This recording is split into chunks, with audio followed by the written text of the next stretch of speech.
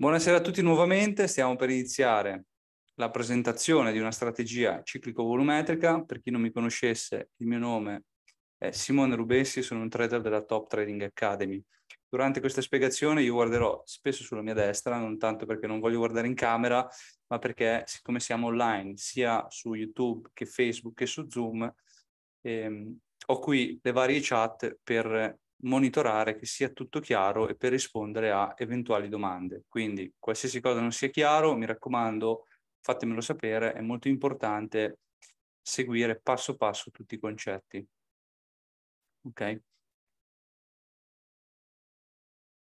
Rimanete fino alla fine perché facciamo un'analisi a mercati aperti e per chi rimane fino alla fine gli verrà regalato anche un ebook che potrà leggere di un assoluto valore, gratis. Okay? Prima di iniziare farò un'introduzione ai cicli di borsa, concetto dal quale partono tutte le nostre strategie e indicatori. Un ciclo di borsa non è altro che un periodo di investimento programmato da parte della mano dominante del mercato. Per mano dominante intendiamo quell'insieme di operatori istituzionali di alto livello, del calibro di BlackRock per esempio, che avendo ingenti quantità di titoli, future, eccetera, da acquistare o vendere e pianificando differenti temporalità di investimento, generano andamenti regolari. Questo che cosa significa in sostanza? Significa che il mercato ha questo tipo di andamento, questo tipo di andamento si manifesta in conseguenza del denaro che entra e del denaro che esce. Ci sono dei soggetti, come vi dicevo prima, per esempio BlackRock, che gestisce più di 9 mila miliardi. E questo cosa vuol dire? Che nel momento in cui entrano con un ammontare di denaro così elevato, in, inevitabilmente modificano l'andamento del prezzo stesso, perché nel momento in cui noi siamo su un determinato minimo ed entrano massicce quantità di denaro, succede che il prezzo si alza. Questo avviene perché il prezzo in borsa, come anche nell'economia reale, è dato da do- dalla domanda e dall'offerta. Quindi quando c'è tanta domanda di un bene, il prezzo si alza. Ok? Una volta che si arriva a un determinato massimo, escono massicce quantità di denaro, di conseguenza in questo mo- modo l'offerta diventa superiore alla domanda e di conseguenza il prezzo scende. Qui rientrano massicce quantità di denaro, prezzo si alza, qui escono, prezzo scende e così via. Ok? Questo è quello che succede costantemente in borsa a tutti i livelli. Quanto dura la lezione giusto per un'organizzazione familiare? Più o meno un'ora, un'ora, un'ora, un quarto, poi dipende anche dalle domande che mi fate. Più domande ci sono, chiaramente più si allunga. Ok? Quindi il concetto di ciclicità, un ciclo, quindi è il tempo in cui il denaro entra, fa salire il prezzo, il denaro esce e lo fa scendere. Questo avviene, ripeto, in tutte le temporalità, nell'arco di qualche ora come nell'arco di anni. Dopo poi vedremo anche tutte le tipologie e quali sono le varie durate.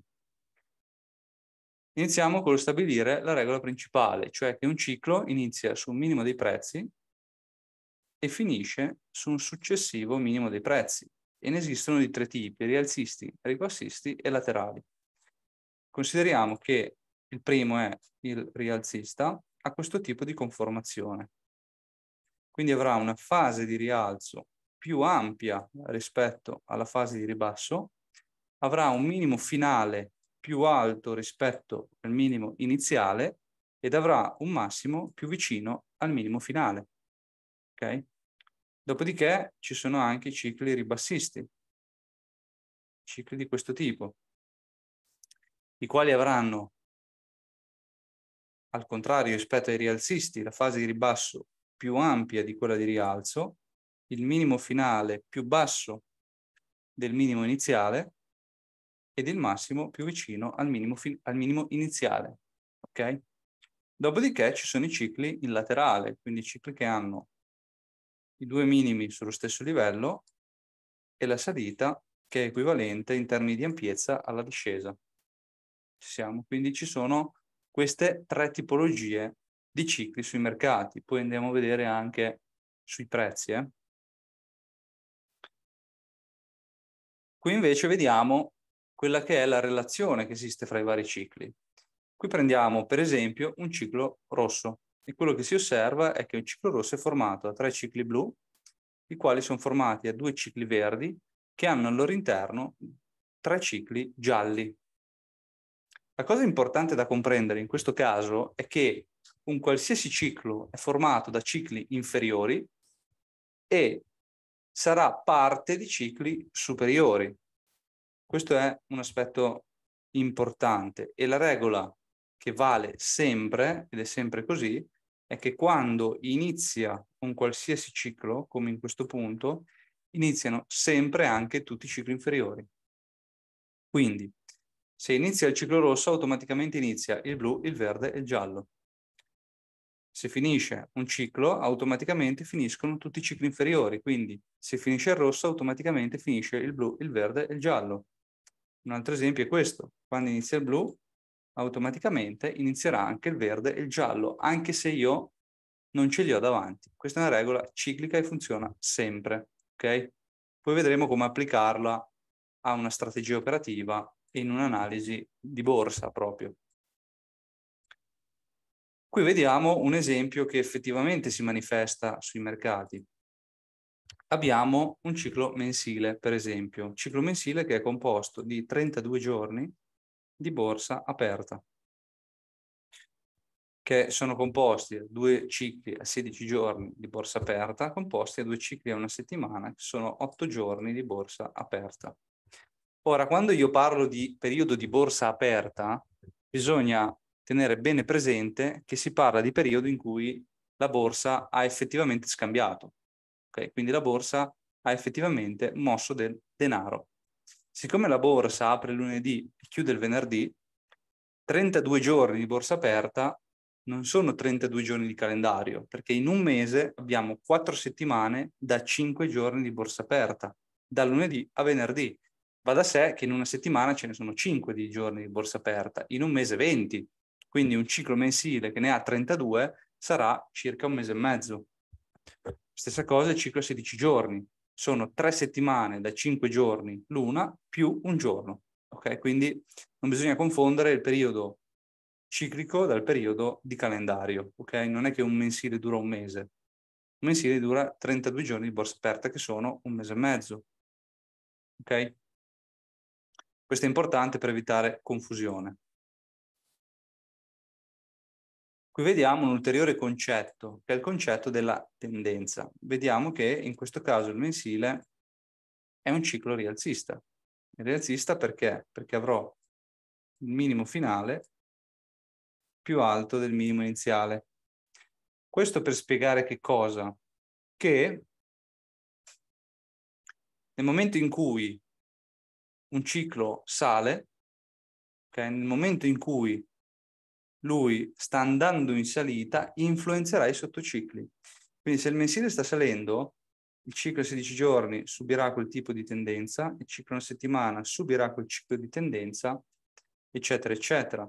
Per fare un esempio un po' più in scala, è come se io avessi questo ciclo mensile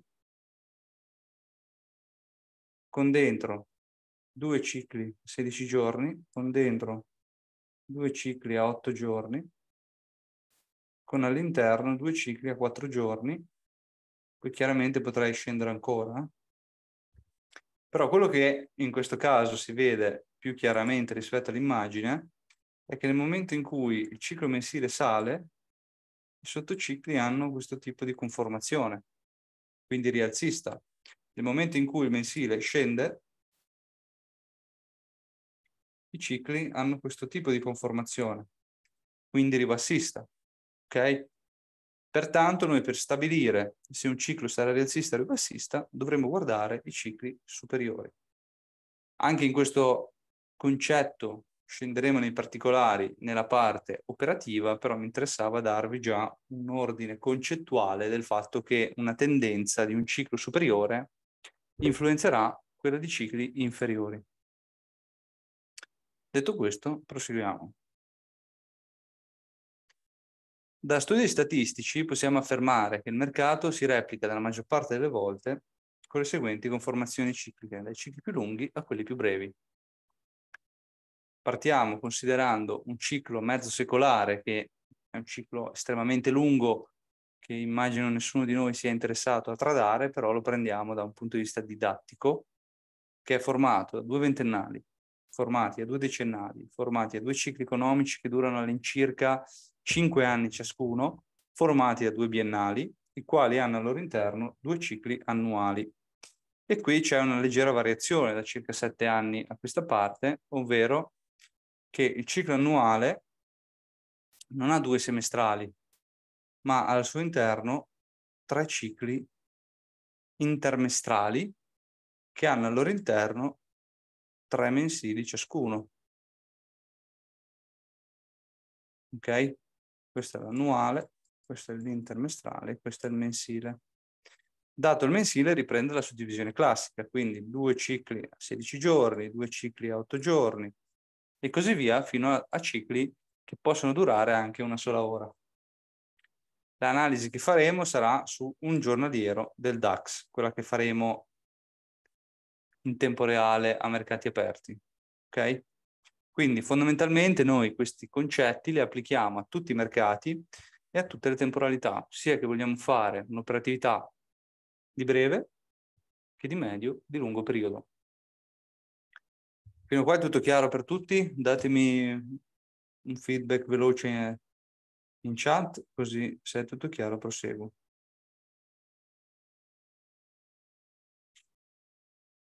Ci siamo?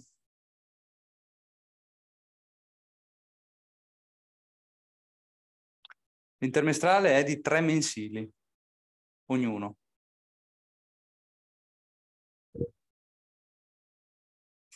Ok? Bene, siccome sembra chiaro per tutti, proseguiamo. Qui cominciamo a vedere un esempio sui mercati. Allora, questo è un grafico di euro-dollaro, prendiamo euro-dollaro così come esempio perché poi andiamo anche sul DAX e prendiamo un periodo lungo perché poi vediamo anche il breve. Quindi voglio far vedere che si applica su tutto, sia nel lungo sia nel breve. È un grafico con time frame a un giorno, vuol dire che ogni candela rappresenta un giorno di contrattazioni e la cosa che si nota chiaramente è che esiste una ciclicità, come abbiamo visto, no? Non solo, possiamo vedere anche, questi sono tutti cicli biennali, eh? non esiste solo una, esistono tutte le ciclicità dentro ogni grafico, però chiaramente le prendiamo una alla volta, quella che ci interessa. Ora prendiamo questa qua di lungo, ma poi prendiamo anche quella di breve vediamo che ci sono ciclicità in laterale, quindi un biennale in laterale perché hai due minimi sullo stesso livello, c'è un biennale ribassista perché il minimo finale più basso di quello iniziale, vedete che la fase di ribasso è doppia praticamente. Quest'altro è in laterale, quest'ultimo invece è stato rialzista. Dico è stato perché il prezzo non è un'immagine di oggi, ma il prezzo fatto così, poi è ripartito quindi il minimo finale non è mai sceso sotto il minimo iniziale. Okay? Detto ciò, abbiamo capito che esiste una ciclicità. Quello che dobbiamo fare dal punto di vista operativo come trader ciclici è individuare le aree di minimo per comprare e vendere sulle aree di massimo. Semplicemente.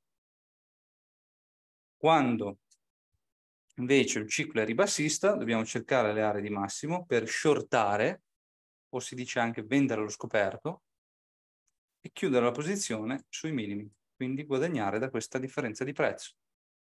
Ok? Questo è concettualmente ciò che dobbiamo fare, quindi tecnicamente vi farò vedere come farlo, ma concettualmente è semplice. Troviamo i minimi, compriamo, vendiamo sui massimi. Shortiamo sui massimi, chiudiamo sui minimi. Ora, la domanda immagino che sorga spontanea. Come faccio a capire se sono su un minimo, se sono in salita, se sono sul massimo, se sono in discesa? Questo lo capiamo attraverso dei nostri indicatori. Il primo è questo che vediamo, si chiama indicatore di ciclo. Come dicevo, un indicatore unico, nostro, di cui abbiamo il copyright, e non se ne trova da nessun'altra parte. Come si legge e che informazioni ci dà? Vi dico anche che è un indicatore automatico, quindi una volta che noi lo settiamo, lui si mantiene aggiornato in tempo reale, non ha bisogno di ulteriore manutenzione, si applica su tutto, quindi cicli giornalieri, due giorni, quattro giorni e su tutti i mercati. Detto questo, andiamo a capire come funziona questo indicatore. Questo indicatore è formato da tre linee. La linea continua, che è la traiettoria del ciclo. Okay? La linea tratteggiata orizzontale è l'asse dello zero. La linea tratteggiata sinusoidale è la velocità del ciclo. Sinusoidale vuol dire che fa le, delle sinusoidi, quindi delle onde. Ok? Ora andiamo a vedere come funziona. Allora, noi dobbiamo guardare quando la linea tratteggiata fatta ad onda, cioè la nostra velocità che ha la linea sinusoidale, attraversa l'asse dello zero dall'alto in basso. In quel punto saremo in una zona di massimo. Quindi noi dobbiamo guardare questo punto qua, cioè questo incrocio qui, in questa direzione. Cioè quando io incrocio in questa direzione qua, sono in un'area di massimo. Ok? Viceversa, quando io ho l'incrocio opposto, quindi se la linea tratteggiata, cioè la velocità, attraversa l'asse dello zero dal basso verso l'alto, ci troveremo in una zona di minimo in questo caso. Quindi quando io ho questo incrocio fatto in questa direzione, sarò in un'area di minimo. Semplice, ok? Va da sé a questo punto che dobbiamo capire come applicare questi concetti all'operatività. E vediamo degli esempi, ok? primo esempio è, dobbiamo trovare il primo minimo. Primo minimo abbiamo detto che ce l'abbiamo quando la velocità da sotto incrocia sopra. Quindi questo è il primo minimo. Poi che cosa succede? Che la velocità va sopra l'asse dello zero. Quando la velocità è sopra l'asse dello zero e fin tanto che la velocità rimane sopra l'asse dello zero, mi indica salita sul mio ciclo di riferimento. Quindi salita, salita, salita, salita, salita, salita, salita, salita, salita, salita, salita, salita, fino a qui. A questo punto io ho un incrocio dall'alto al basso, quindi siamo in una zona di massimo qui. Ok? Questa è un'area di massimo. Difatti, se vado a vedere come si è comportato il prezzo da questo punto di incrocio a quest'altro punto di incrocio è andato nella direzione indicata, cioè salita. Qui invece cosa succede? Che la velocità va sotto l'asse dello zero, indicandoci discesa. Qui ci indica discesa fin tanto che questa linea rimane sotto, quindi discesa, discesa, discesa, discesa, discesa, discesa fino a qui. Anche in questo caso il prezzo è andato nella direzione corretta. Qui nuovamente siamo in area di minimo perché abbiamo l'incrocio da sotto a sopra, salita, salita, salita, salita, salita, salita, salita fino a qua. Anche in questo caso il prezzo è andato nella direzione corretta. Qui nuovamente area di massimo, discesa, discesa, discesa, discesa, discesa, discesa, discesa, discesa, discesa fino a qua. Anche in questo caso abbiamo un'indicazione corretta da parte dell'indicatore. Qui nuovamente minimo, salita, salita, salita, salita, salita, salita, fino a qua. Anche in questo caso il prezzo è andato nella direzione indicata dal nostro indicatore. Ci siamo? Chiaro come funziona questo indicatore qua? Fatemi sapere, eh?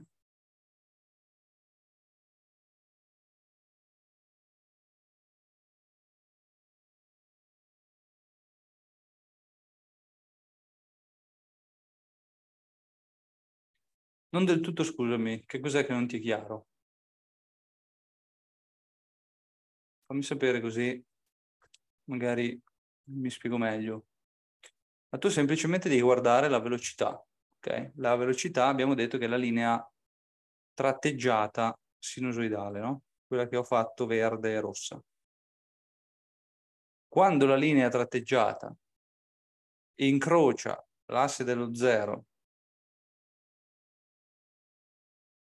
L'ultima sezione qui intendi?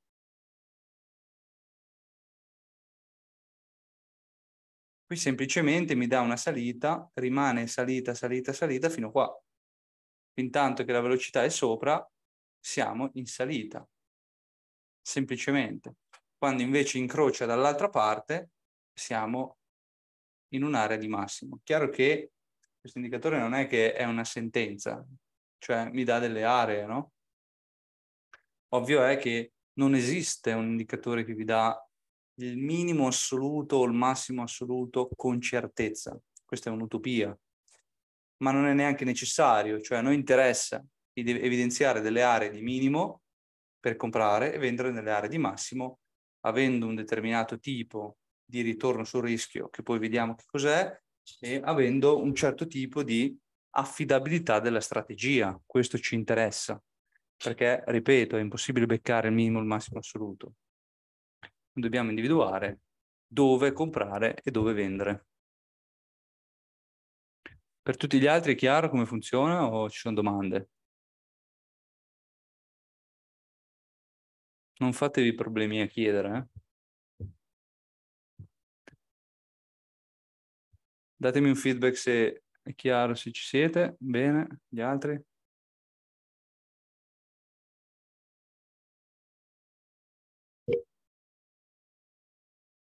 Bene, perfetto. Ottimo. Cosa determina lo zero? Lo zero viene determinato dall'indicatore, dal suo algoritmo interno e determina la linea di demarcazione fra salita e discesa, quindi i punti di svolta. Questo è un indicatore che utilizzi, esatto, è un indicatore che abbiamo creato noi, come dicevo prima, di cui abbiamo il copyright e non esiste da nessun'altra parte e eh, ce lo possono avere solo i nostri utenti.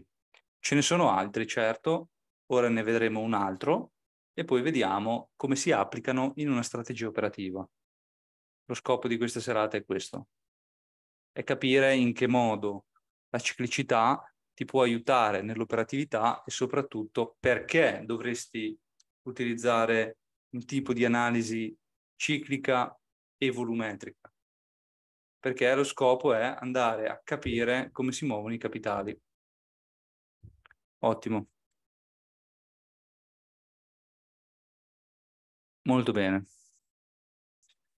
Passiamo al DNA. Il DNA è un algoritmo che elabora un'analisi del passato e da essi sviluppa un'ipotesi di futuro possibile.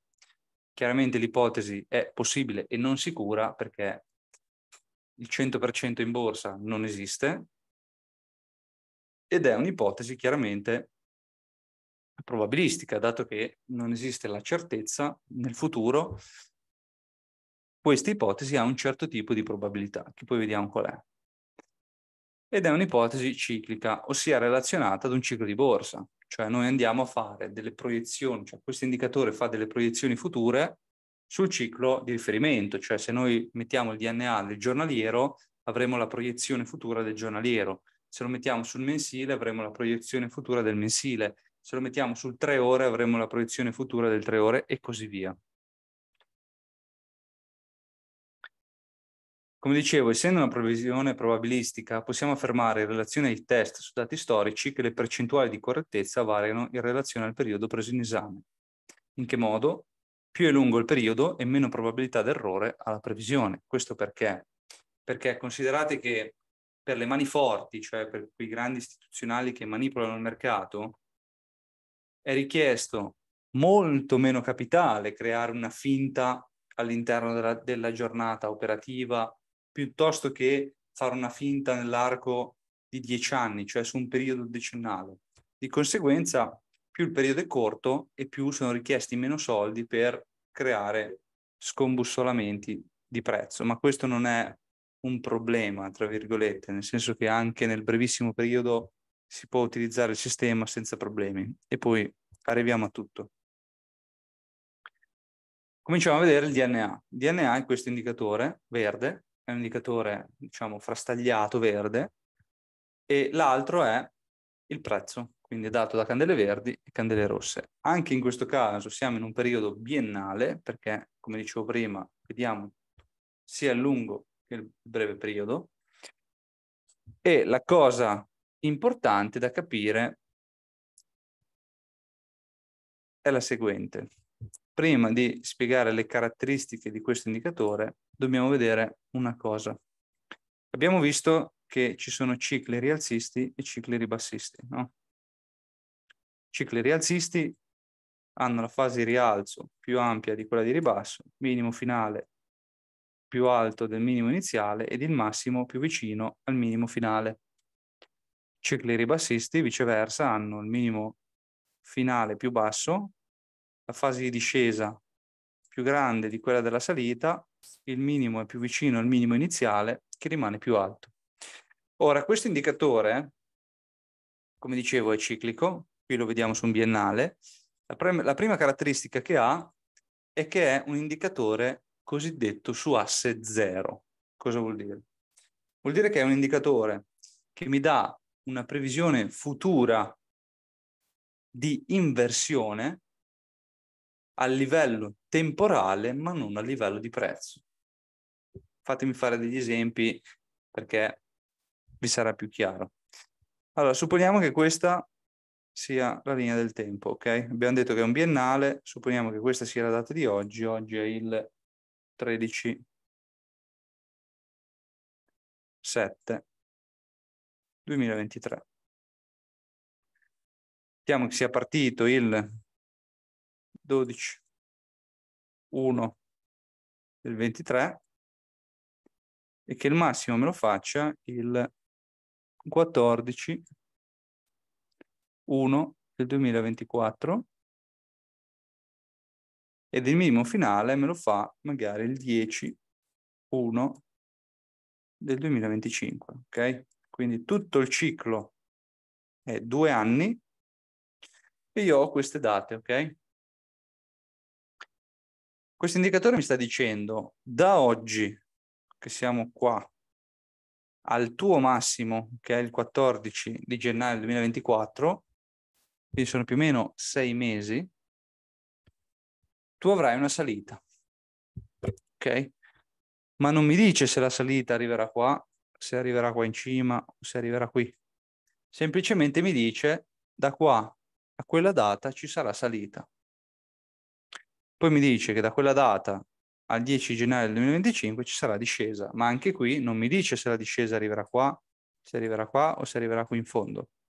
Questo lo devo capire, lo devo sapere, anzi non capire, dalla tipologia di ciclo che sto osservando. Vi spiegherò poi come capire anticipatamente se siamo davanti a un ciclo rialzista o ribassista. Facciamo tutte e due le casistiche per capire, ma poi non ne avrete bisogno, cioè voi sapete già, prima ancora che parta, se quel ciclo sarà rialzista o ribassista. Ciclo rialzista, io che cosa mi devo aspettare? Beh, io a questo punto mi aspetterò un'andatura di questo tipo. Perché devo avere minimo finale più alto del minimo iniziale, il massimo più vicino al minimo finale. Se invece sono davanti a un ciclo ribassista, io mi aspetterò qualcosa di questo tipo. Quindi devo avere il minimo finale più basso del minimo iniziale, il massimo più vicino al minimo iniziale. Di conseguenza, se io mi trovo nella casistica verde, io qua compro e qua sopra vendo, guadagno questa differenza. Se mi trovo nella casistica rossa, io qua vendo e chiudo la posizione qui e guadagno da questa discesa. Ok? Queste sono le due tipologie, però noi sapendo prima se siamo da una o dall'altra parte, vi spiegherò poi come, come saperlo prima ancora che parta, sappiamo esattamente dove siamo, dove stiamo andando e che tipo di, di tendenza aspettarci. Chiaro questo? Ditemi se mi sono spiegato oppure no.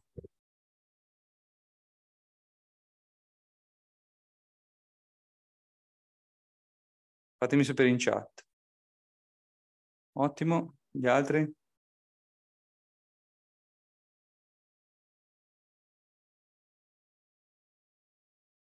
Bene, bene, bene, bene. Perfetto. Ottimo. Molto bene. Detto ciò, proseguiamo.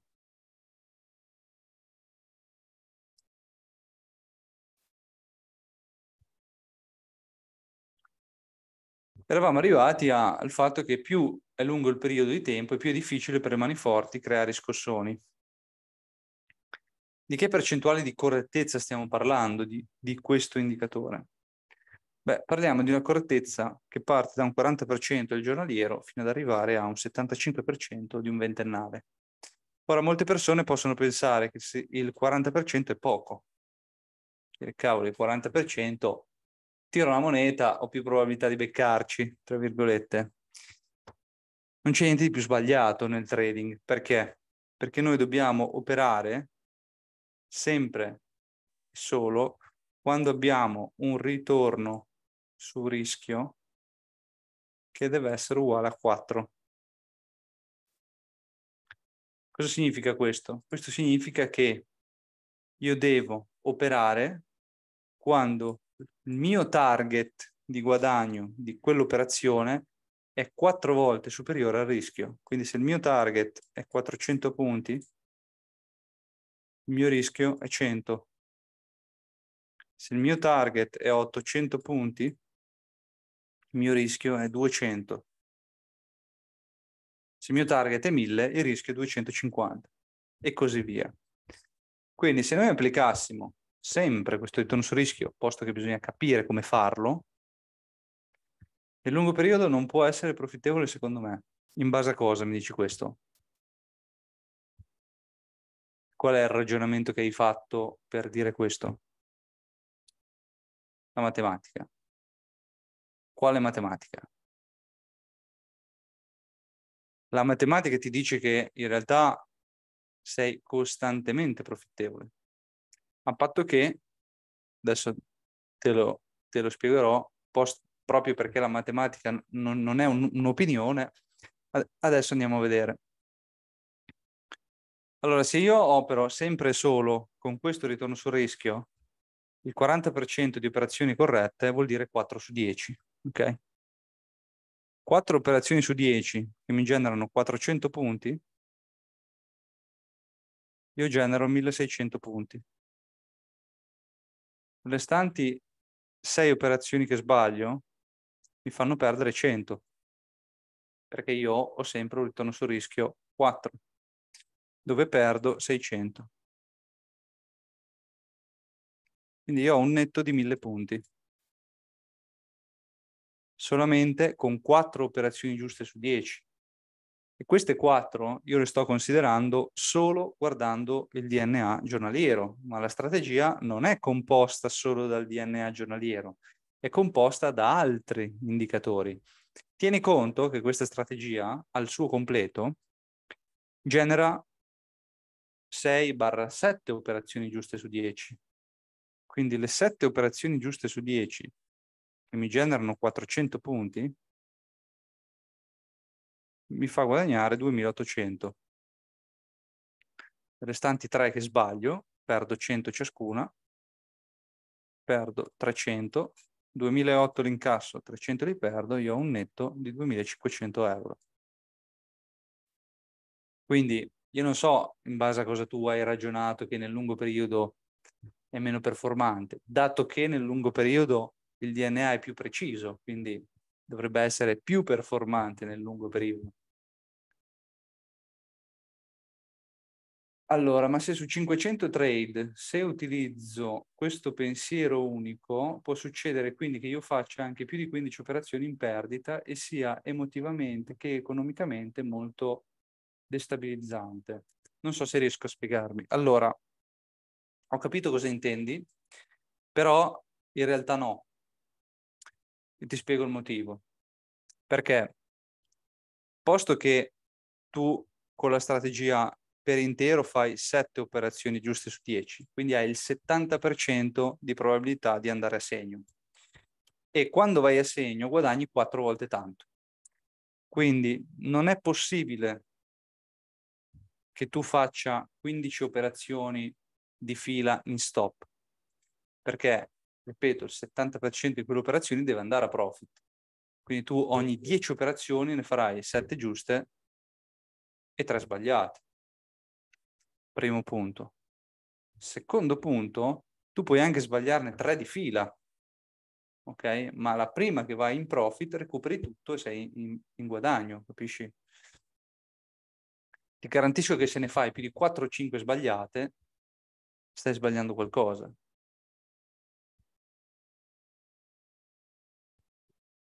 Ma in base a cosa inseriamo le operazioni se sbagliamo la strategia?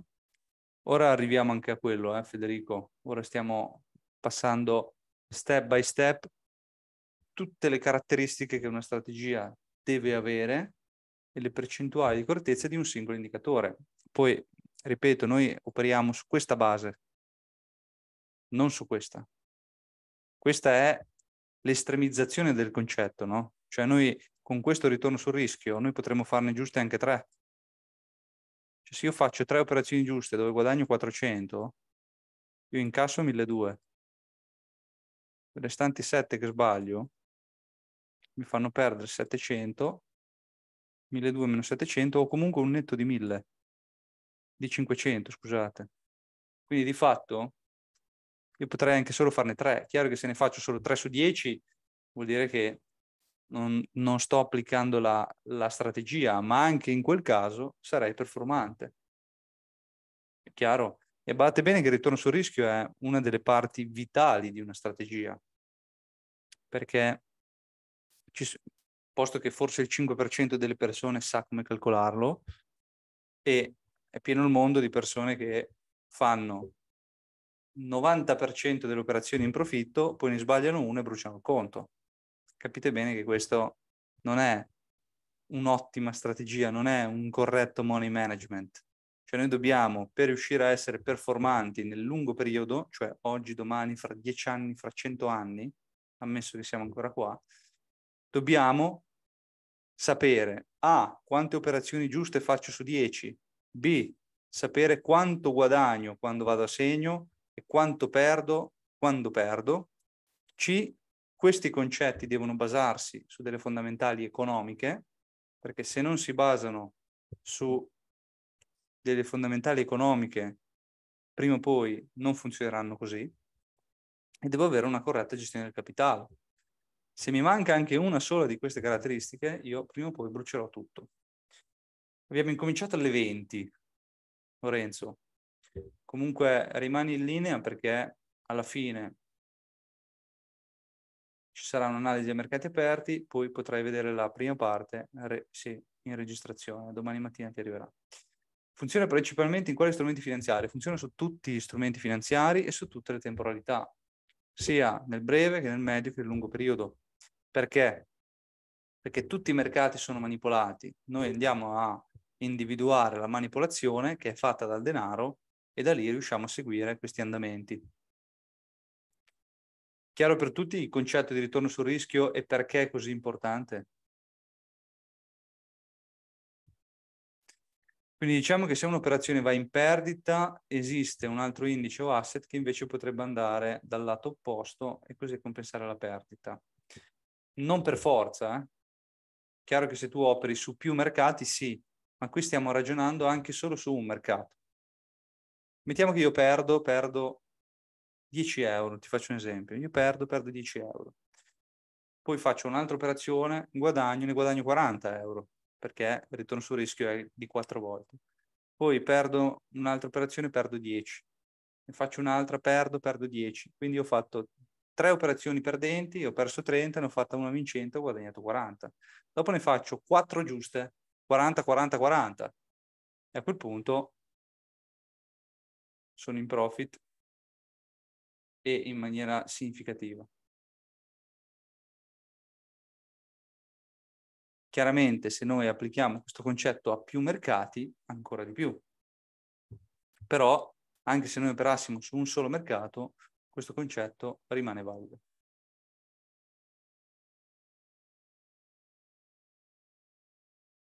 Perfetto, l'abbiamo spiegato poco tempo fa il DNA come funziona. Eh? Adesso andiamo avanti. Finora ci siamo tutti o ci sono domande?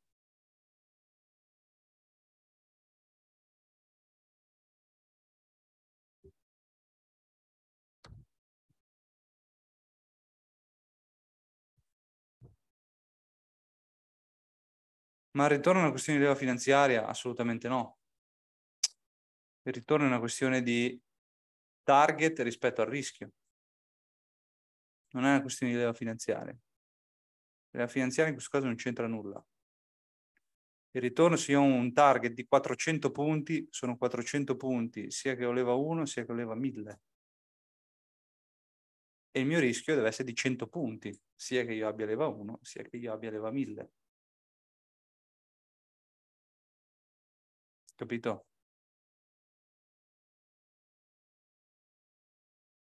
La leva finanziaria ci può aiutare ad aumentare la profittabilità, ma non deve farci uscire da determinati parametri di gestione corretta del capitale.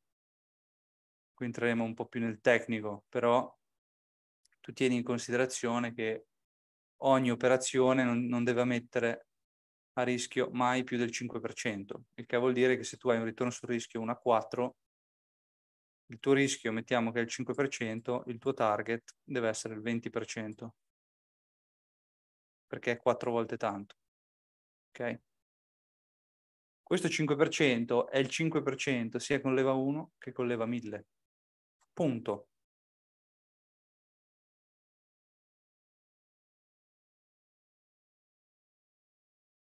Chiaro? Ok.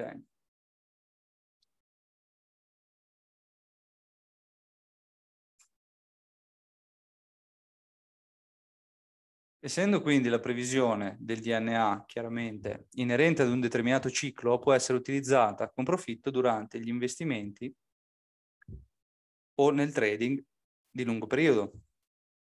Per fare ciò dobbiamo capire i punti di forza e di debolezza del DNA affinché lo si possa utilizzare al meglio. Questi punti sono i punti che abbiamo appena spiegato, ma li riepiloghiamo. Cioè che sviluppato su asset zero, quindi senza tendenza, cioè mi fa mi dà una previsione futura dal punto di vista temporale, ma non a livello di prezzo, abbiamo visto, no?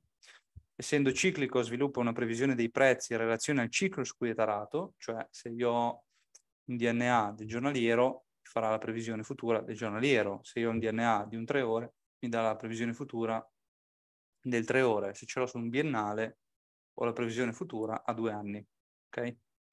Permette di individuare massimi e minimi con strabiliante precisione e questo è l'esempio di prima.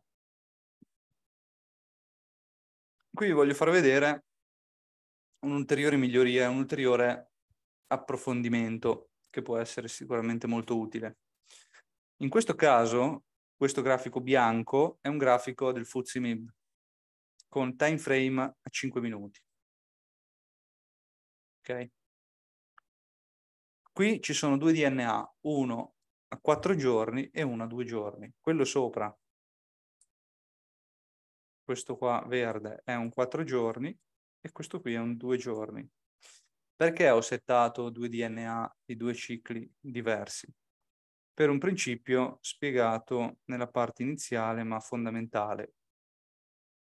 Io all'inizio vi ho spiegato che nel momento in cui parte un qualsiasi ciclo, lo faccio vedere qua, nel momento in cui parte un qualsiasi ciclo, partono sempre anche tutti i cicli inferiori. Quindi se questo è il 4 giorni, questo è il 2 giorni, questo è il giornaliero, che è il 4 giorni formato da 2 2 giorni e da 4 giornalieri. Quando parte il 4 giorni, automaticamente parte il 2 giorni, automaticamente partirà il giornaliero e così via, fino a scendere. Stessa cosa quando finisce, cioè quando finisce un 4 giorni finiscono tutti i cicli inferiori, quindi finisce il 4, finisce il 2, finisce il giornaliero. Quindi, se io setto due DNA, uno del 4 e uno del 2, e nel momento in cui il DNA del 4 mi dà il minimo, anche il DNA del 2 mi deve dare il minimo, perché se lì parte 4 deve partire anche il 2. Ovviamente questo capita nella stragrande maggioranza delle volte, quando non è così, chiaramente uno dei due sbaglia e noi ci asteniamo dall'operatività. Noi dobbiamo operare quando le probabilità sono maggiormente dalla nostra parte e, ehm, e operare con magari più capitale rispetto a prenderci dei rischi inutili. In questo caso, noi vediamo che chiaramente qui collimano, come la stragrande maggioranza delle volte, e quando è così le mie probabilità di correttezza aumentano. Quindi qual quali sono i possibili scenari in base a questa immagine? Anche qui facciamo sia lo scenario rialzista che quello ribassista, ma come vi ho detto, noi sapremo anticipatamente se il ciclo che stiamo tradando è rialzista o ribassista. Ok, prendiamo prima il ciclo rialzista. Abbiamo detto che il ciclo rialzista è così, quindi minimo finale più alto di quello iniziale, fase di rialzo più ampia di quella di ribasso, ed il minimo finale più alto di quello iniziale ed il massimo più spostato verso quello finale. Quindi io da questo, da questo prezzo mi aspetto un andamento di questo tipo. Ovviamente. Perché mi aspetto un andamento di questo tipo? Perché io devo avere il minimo finale più alto di quello iniziale. Qui ho il massimo del primo due giorni che collima con questo. Qui mi fa un minimo del primo due giorni a questo punto, ma chiaramente il minimo deve essere superiore a quello di inizio e il massimo del secondo due giorni collimerà col massimo del mio quattro giorni. Quindi io qui avrò un ciclo quattro giorni, scusate, avrò un ciclo a quattro giorni, così con dentro due cicli a due giorni. Ok? Ora vediamo nel caso in cui questo ciclo sia ribassista, questo quattro giorni sia ribassista. Quattro giorni ribassista abbiamo visto che è così fase di ribasso più ampia di quella di rialzo, minimo finale più basso di quello iniziale ed il massimo più vicino al minimo iniziale. Quindi in questo caso io mi devo aspettare dal prezzo una cosa di questo tipo. Dove avrò il massimo del primo due giorni che collimerà con questo massimo di prezzo. Minimo del primo due giorni che più o meno sarà a livello del minimo iniziale, massimo nel secondo due giorni intorno al minimo precedente o addirittura più basso, in questo caso io avrò il mio quattro giorni ribassista con all'interno due cicli a due giorni. Ok? Chiaro come si interfacciano anche i DNA di cicli diversi, abbiamo compreso il concetto di ciclicità. Se è tutto chiaro possiamo cominciare a vedere un esempio, cioè cominciamo a aprire il grafico in tempo reale in sostanza, andare a fare delle considerazioni sulla situazione attuale del giornaliero del DAX e fare delle ipotesi.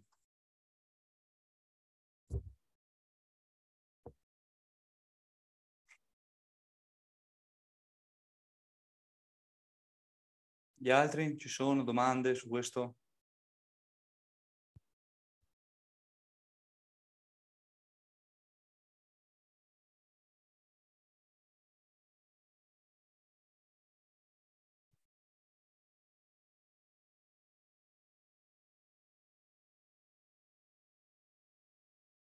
Bene. Ok, visto che siamo tutti lo faccio su euro-dollaro semplicemente perché ho, ho preparato il DAX, ma sull'euro-dollaro non cambia nulla. Esattamente nulla.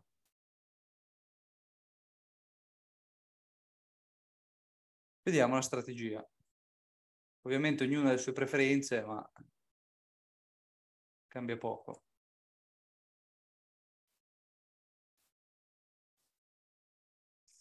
Eccoci qua. Allora, qui siamo davanti a un indicatore di ciclo sotto giornaliero, questo è il DAX in tempo reale, qua vedete il prezzo che sta andando, qui abbiamo il prezzo sopra e qui abbiamo il DNA del giornaliero che mettiamo un po' più al centro. Eccolo qua. Ora, prima di fare delle considerazioni su questo grafico qui, fare le previsioni per domani, devo spiegarvi ancora un concetto importante. Allora, abbiamo visto che ci sono i cicli rialzisti e ribassisti. Abbiamo anche visto che i cicli rialzisti hanno una fase di rialzo più ampia e i cicli ribassisti la fase di ribasso più ampia. Quindi a livello operativo io nel ciclo rialzista operò sempre, opererò solo ed esclusivamente il long. Lo short, che è questa piccola parte, non la prendo in considerazione dal punto di vista operativo. Ciclo ribassista prendo in considerazione, operativamente parlando, solo lo short. Il long non lo prendo in considerazione. Quindi queste due fasi non si tradano.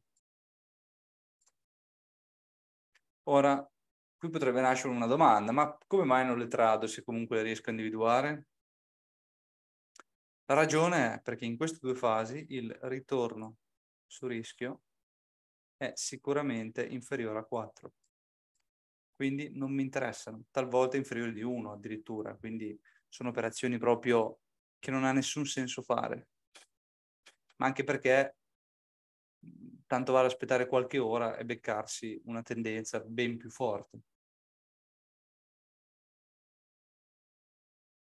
Ci siamo? Detto ciò,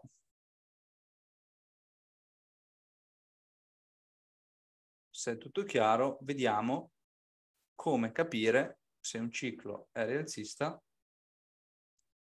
il ritorno non va in stop loss.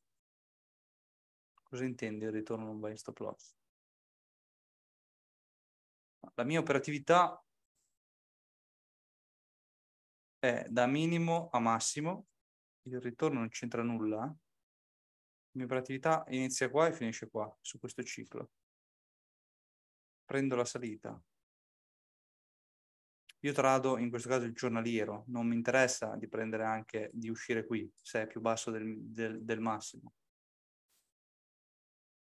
e sul, sul ciclo ribassista la mia operatività inizia qui al ribasso e finisce qui.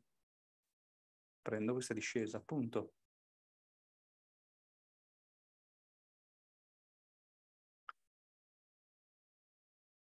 Chiaro? L'operatività è sempre o da minimo a massimo o da massimo a minimo.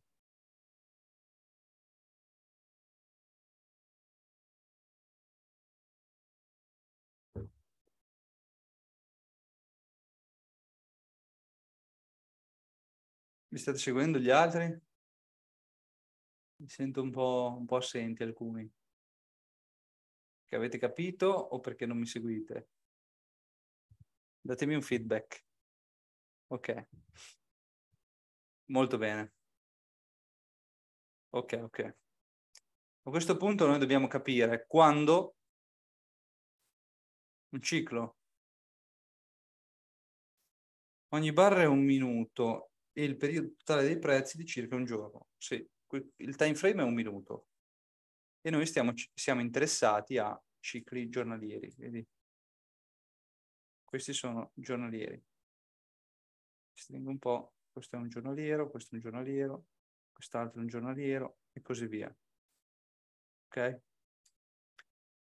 Ora però io per sapere se devo andare long o se devo andare short, devo sapere se il ciclo che, sto, che andrò a tradare sarà rialzista o ribassista. Per capire ciò, io devo andare a vedere, come avevamo detto prima, i cicli superiori. Quali nello specifico? Dobbiamo vedere un ciclo di quattro ordini superiore partendo da quello che mi interessa. Quindi giornaliero è quello che mi interessa. Due giorni, quattro giorni, otto giorni. Quindi io devo prendere un otto giorni e da qui io ho delle informazioni molto molto importanti. Questo è un otto giorni, parte da qua e fa questo. Ok?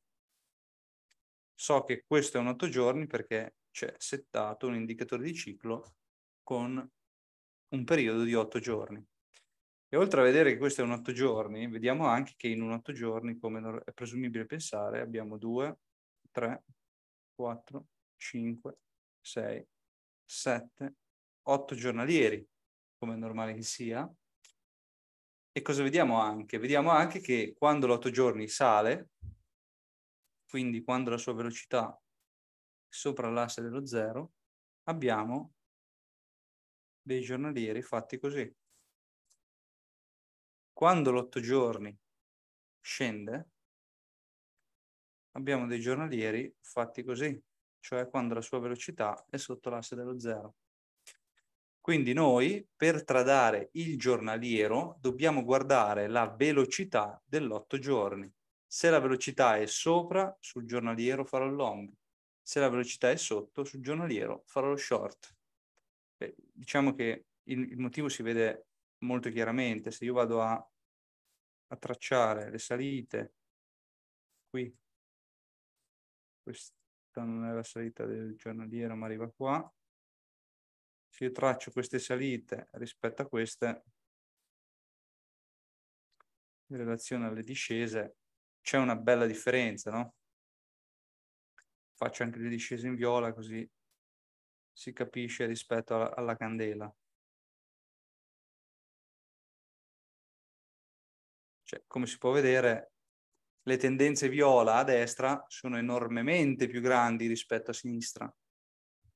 E se voi pensate di tradare entrambe le parti e provate a fare questo piccolo long, quando improvvisamente vi arriva una fiammata di, questo, di questa portata, vi garantisco che passate dei brutti momenti. Vi fate molto male. Stessa cosa se prend- cerco di prendere questa salita e improvvisamente mi arriva la fiammata. Il time frame a 15 minuti corrisponde a 8 giorni? No, il time frame è arbitrario, si può scegliere. Noi dobbiamo guardare il periodo ciclico. Il periodo ciclico è di un 8 giorni. I miei 8 giorni io li posso guardare a un minuto, a 5 minuti, a 15 minuti, a un'ora, non fa nessuna differenza. Sempre un ciclo a 8 giorni sto guardando. Okay? Chiaramente non posso guardare il ciclo giornaliero con candele daily, perché in una candela c'è un ciclo, ovviamente, no? Però sarebbe come dire che devo misurare questa distanza di questa biro, ok? Questa è la distanza che mi interessa. Questa biro io la posso misurare in, in centimetri, millimetri, chilometri o anni luce, ok? Ma sempre questa distanza è. Eh.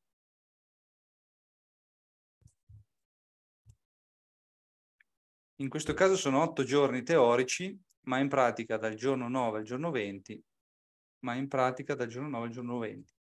Questa affermazione significa che o ti sei perso la prima parte iniziale o non sei stato tanto attento.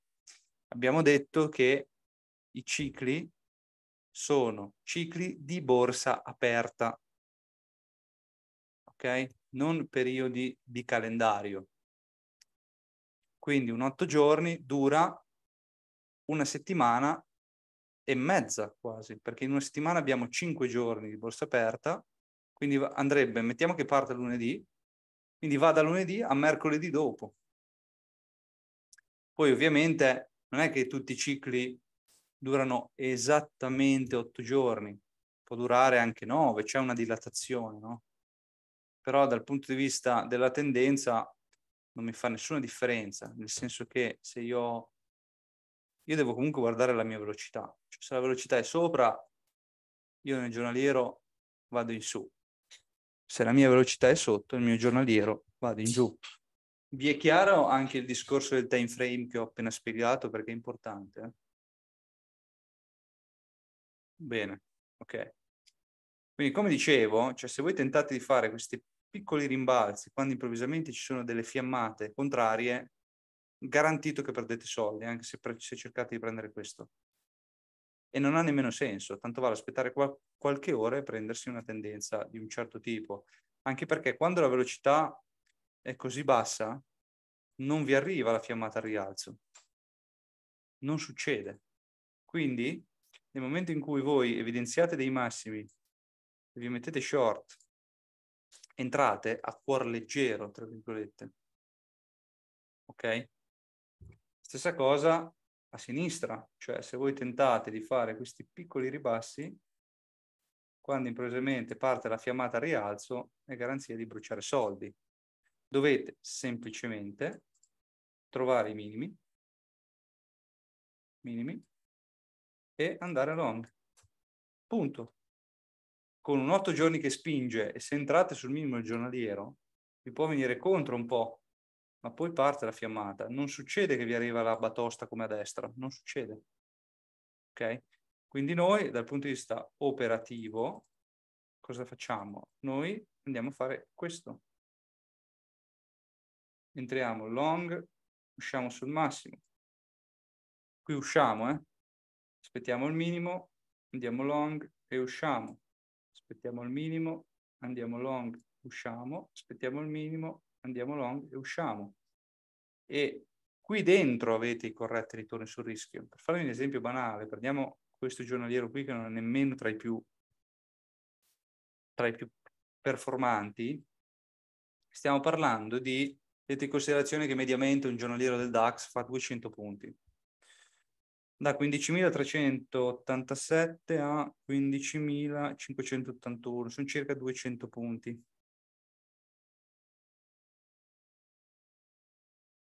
Sì, contro una discesa di 60. Quindi ho 200 punti di salita e una discesa di 60. Allora, in questo caso la discesa sarebbe meno di un terzo della salita, ok? Ma badate bene che il mio rischio non è tutta la discesa, perché io non è che entro in long qua sopra, che mi becco 60 punti contro, io entro già sul minimo. Quindi se io entro già qua sul minimo, ho davanti 200 punti di salita, più o meno, ma indietro me ne verranno 10 o 20. Quindi il mio ritorno sul rischio in quelle fasi è ancora più alto rispetto a una 4. Capito? Quindi il long finisce sull'asse dello 0 e volendo si prende poi successivamente lo short. Su quale base ci aspettiamo? Il minimo, ci devono essere delle confluenze, no? Allora, ti rispondo a entrambe le domande. Qui io ti sto facendo vedere solo ed esclusivamente se devi andare long se devi andare short e in quali fasi. Ma il long e lo short viene stabilito dal giornaliero, cioè da questa immagine che poi vediamo, non da questa. Qui stabilisci solo la direzionalità. Ok?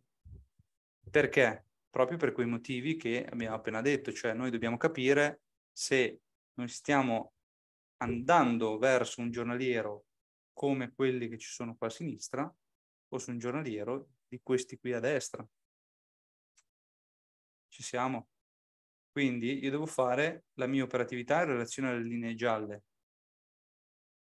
Dopodiché arriviamo anche qua. Qui, volendo, ci può essere un ulteriore tipo di ragionamento, cioè io sono qua, ho una velocità che è ormai prossima a rompere l'asse dello zero al ribasso sono passati quattro giornalieri, quindi io sono a metà del mio otto giorni, il mio otto giorni sta per cambiare tendenza.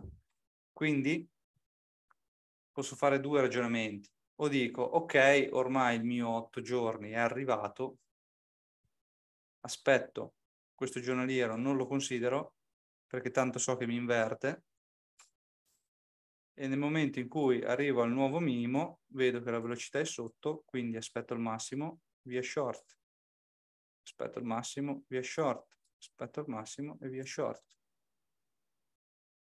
Chiaro? Fin tanto che questa linea rimane sotto.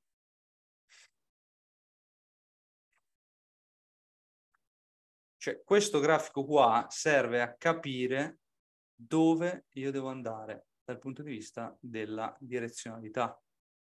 Perché? Perché ti dà un quadro a 360 gradi. So dove, sei, so dove sono e so dove sto andando in quella tendenza vado a, evidenziare la mia operatività. Sì, ma la domanda era diversa, nel senso se parto in ritardo per diversi motivi e voglio entrare lo stesso, la mia entrata sarà sul minimo che si poggerà sul massimo precedente. No, la tua entrata sarà sul minimo del successivo giornaliero. Mettiamo caso, tu volevi entrare qui, facciamo di, di un altro colore così si capisce. Facciamo bianco. Mettiamo che tu volevi entrare qui. Per qualche motivo non riesci a entrare. Tu non è che entri sul massimo, cioè sul minimo che poggerà sul massimo precedente. No, tu entri semplicemente sul nuovo minimo del giornaliero. Ma non, non è detto che poggerà sul massimo. Il minimo lo fa sopra il minimo iniziale, ma te lo può fare qua, te lo può fare qua, te lo può fare anche allo stesso livello. Ma questo, come ti dicevo prima, lo stabilisci dagli indicatori del giornaliero. Qui siamo sull'indicatore dell'otto giorni, che ci fa capire solo in che direzione devo andare.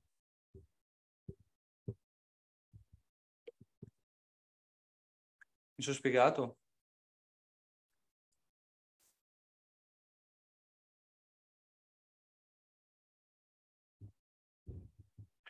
Ottimo, molto bene. Quindi vedete quanto è importante sapere dove si è e dove si sta andando. Qui ritorni sul rischio, vi fanno fare risultati molto importanti, considerate che stiamo parlando del DAX che con un contratto pieno sono 25 euro a punto, quindi 200 punti al giorno potenzialmente sono 5.000 euro al giorno un mini contratto sono 5 euro a punto, quindi 200 punti fa 1000 euro al giorno, un micro contratto sono 1 euro a punto, quindi 200 euro al giorno. Quindi considerate che le potenzialità di, le potenzialità di guadagno sono molto alte. Il contratto pieno è un future DAX, poi ci sono i mini e i micro. Non è che è richiesto un importo. Quando tu operi su, su, sui future, ma su qualsiasi derivato tu hai un margine di mantenimento. Il margine di mantenimento del DAX è di 2500 euro. Chiaro che per poterlo tradare con tranquillità ci va un capitale intorno ai 40-50 mila euro. Però comunque sono potenzialmente migliaia di euro al giorno, quindi sono percentuali importanti. Per iniziare sicuramente sono consigliati micro lotti, micro contratti, perché sono tradabili anche con un migliaio di euro, un migliaio di euro di capitale. In questo modo si può cominciare, poi pian piano si va su. Ok, ma il capitale per poter tradare invece bisogna ricorrere ad un prestito e purtroppo spesso anche utilizzare la leva. Allora non è che devi ricorrere a un prestito, tu ricorri al tuo capitale, che può essere, fai di un minimo di 1000 euro in su. In relazione al tuo capitale tu ti puoi permettere un certo numero di contratti, un certo, un certo tipo di contratti. Chiaro che se hai 1000 euro non puoi comprare contratti pieni, questo è scontato. Dovrai comprare i micro contratti. Se inizi con 5000 puoi cominciare a fare due, tre mini contra- micro contratti. Micro DAX, micro S&P 500, micro Eurostox, micro Nasdaq, senza nessun tipo di problema. E il concetto della leva considera che tutti gli strumenti derivati sono leva, quindi commodity, ehm, indici, ma la leva non è un, una bestia nera come tutti pensano. La leva è la possibilità di comprare per più, di più rispetto al proprio capitale. Ovviamente il fatto di poter comprare somme più elevate rispetto al proprio capitale ti può dare tanti vantaggi, ma ti dà anche più rischio. Quindi è un vantaggio se controlli il rischio, è il concetto che ti dicevo prima, ritorno sul rischio. Il ritorno sul rischio deve essere costante e il money management deve essere costante indipendentemente dalla leva. È un po' come se io ti, ti dicessi che differenza c'è tra una Ferrari e una Panda, ok? Che la Ferrari ti dà prestazioni molto più elevate. Chiaro che se tu sai guidare la Ferrari, avrai dei vantaggi ad avere prestazioni più elevate. Con la Panda non puoi schiantarti a 200 all'ora, con la Ferrari sì. Quindi se tu usi la Ferrari perché la sai usare, la sai controllare, la conosci, hai dei vantaggi. Se non la sai usare, è più pericoloso. Il concetto della leva è un po' lo stesso. Se tu controlli il rischio, sai quanto ti devi esporre e hai una conoscenza la leva è un vantaggio. Se stai andando a caso, allora lì avrai problemi. Ma il problema non è della leva, il problema è nostro.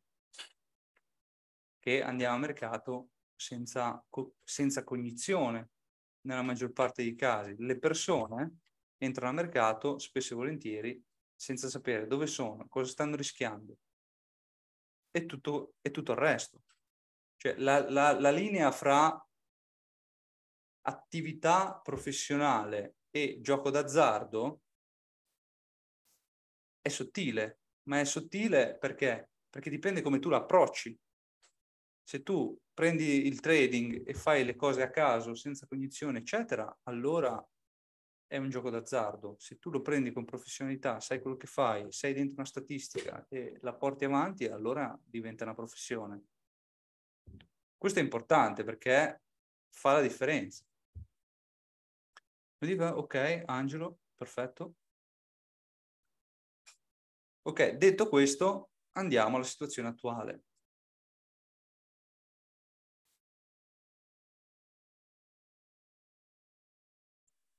Ok, allora, questo è il grafico attualmente. Come vedete, questi sono tutti cicli a otto giorni, si, si vedono molto chiaramente. Non c'è bisogno che vi evidenzi, ma sono tutti cicli a otto giorni. C'è anche il DNA, oltre vuole un'altra similitudine. Ok. Molti studenti mi, mi, prendono in giro perché faccio molte similitudini, però penso che rendano, rendano tanto il, il concetto per quello che faccio. Spero che l'apprezziate, al di là, al di là dello scherzo. No? Allora, vi stavo dicendo, questi sono tutti cicli a otto giorni e come si vede sono abbastanza palesi, no? E è anche palese che tutti i giornalieri qui dentro siano fortemente influenzati dalla tendenza rialzista ed è importante fare i long. Qui dentro se fate i long fate i soldi. Qui dentro dovete fare gli short. Se qui dentro fate gli short fate i soldi. Diversamente vi fate male. Ok? Qui ancora di più, guardate che bella discesa che ho fatto qua. Se qui facevate gli short è festa. Se, se facevate i long, vi sareste fatti male. Quindi, in base a quello che abbiamo detto fino ad ora e in base alla situazione dell'otto giorni che presenta la velocità sopra l'asse dello zero, siamo probabilmente vicini a un massimo, ma siamo ancora verso una salita. Sul nostro giornaliero dobbiamo cercare un minimo per fare un long o dobbiamo cercare un massimo per fare uno short? Punto di domanda. Fatemi sapere in chat.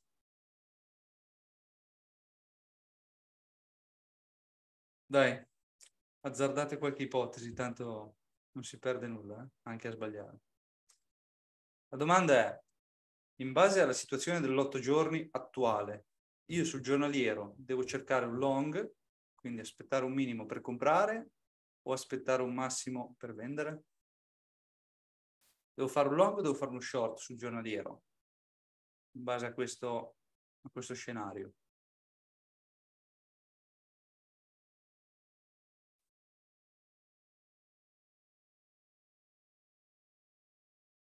Ok, due long e uno short.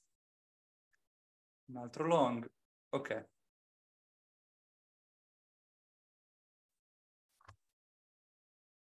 aspetto il massimo per shortare, questo ci può stare. Aspettiamo il massimo, cioè la velocità incrociata su zero.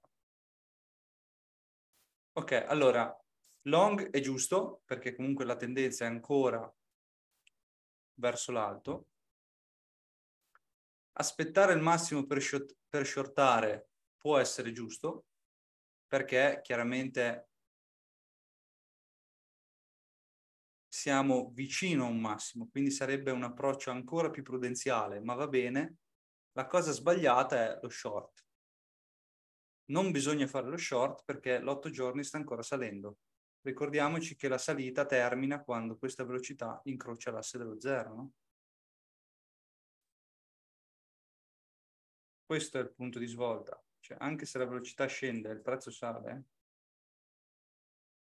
quindi noi o aspettiamo che questa inverta, quando ho questa inversione e il prezzo fa questo, cominciamo ad andare in short, se no fare uno short ora è sbagliato. Ok? Comunque non c'è problema, anche chi ha sbagliato non c'è problema. L'importante è che abbia compreso bene. Ci siamo? Quindi o io faccio il long perché la tendenza sta ancora salendo, se voglio essere ancora più prudenziale aspetto l'inversione. Ora, in base alla strategia però dovremo fare il long, ok?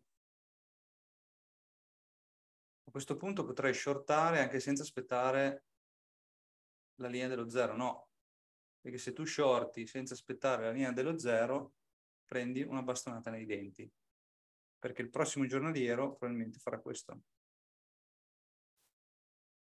E se tu qui prendi uno short, questa salita te la prendi nei denti. Ci sei? Noi dobbiamo tradare sempre nella direzione del nostro ciclo di riferimento. Sempre. Chiaramente questo vale per tutti i cicli, eh? Cioè, se io voglio tradare un tre ore, il mio ciclo di riferimento sarà giornaliero. Se voglio tradare un quattro giorni, il ciclo di riferimento sarà il mensile. Voglio tradare il mensile, il ciclo di riferimento annuale. Questo vale sempre. Potrei mediare nel caso facessi un errore simile? No. Mediare è, un, è una tecnica che per me è totalmente inutile ed è un modo per non accettare la perdita. Se tu medi, hai due problemi. Primo che stai congelando una perdita momentanea, no? Il problema è che se tu medi, mettiamo che tu stai perdendo 100 euro. Tu apri una, una posizione uguale contraria. Mettiamo che il prezzo continua ad andare nella direzione opposta, quindi tu accumuli 200 euro di perdita, ma ne incrementi 100 di guadagno. Hai sempre il problema di 100 euro di perdita che ti rimarrà. Hai doppie commissioni in entrata e in uscita, perché tu stai aprendo una posizione per neutralizzare. Terzo, non è detto che esci nel momento giusto, perché se tu ti porti dietro una perdita chiudi quella in guadagno, ma poi quella in perdita continua a salire, ti porti dietro un'ulteriore perdita che è totalmente inutile. Cioè noi dobbiamo fare un'operatività che ha una percentuale di stop e dobbiamo accettarlo. Non si può avere il 100% in borsa e in borsa il nostro stop loss è il nostro costo aziendale. Cioè chi fa il, il fornaio non è che si lamenta quando compra la farina, sa che la farina è su costo aziendale, venderà il pane più caro, quello è il suo guadagno. Il trading è quello. Il trading noi abbiamo come costo aziendale il stop loss. Non esiste un'azienda che fa solo profitti. Ci sono anche i costi e nel trading sono gli stop loss. Dobbiamo accettarlo se noi prendiamo lo stop loss come un fallimento personale e cerchiamo di strafare per recuperare, facciamo dei danni. Ve lo dico perché ci sono passato anch'io in primis come tutti, ma non, bisogna cambiare quel tipo di approccio. Ok, quindi non potrei aggiungere tipo altri lotti e mediare sino a giorno successivo. No, no, perché è, è totalmente inutile. Parli delle candele rosse, ovviamente.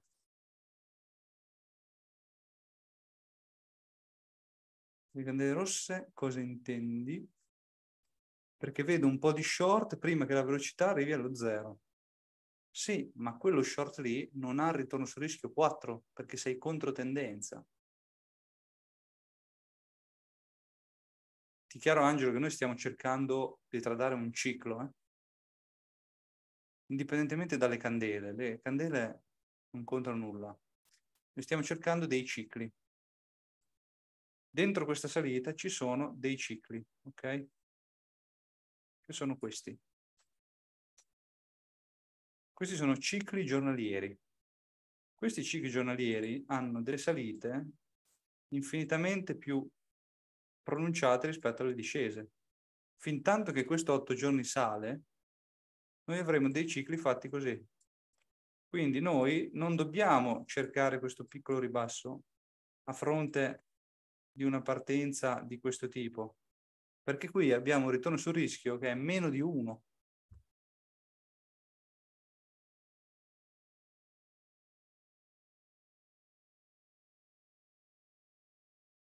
Sì, diciamo, sì, è giusto.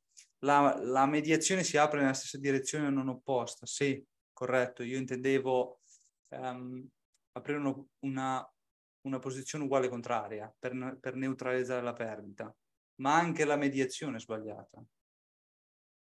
Perché se tu medi, tu stai abbassando o alzando il prezzo medio di acquisto.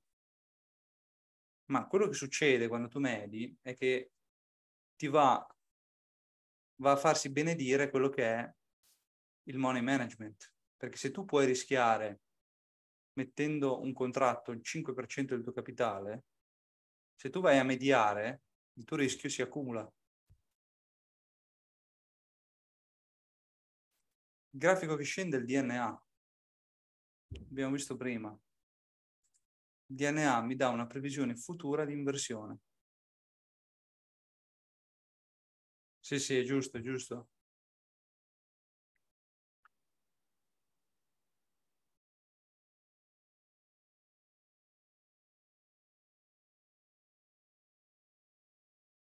Ci sei Angelo che... Sai che non hai capito?